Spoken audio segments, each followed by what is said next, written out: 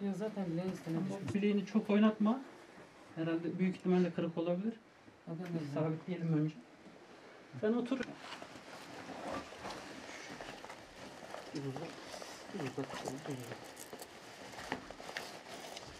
Bir baş dönmen falan olmadı değil mi? Düz sadece şey oldu. Dengeni kaybedip düştün. Evet.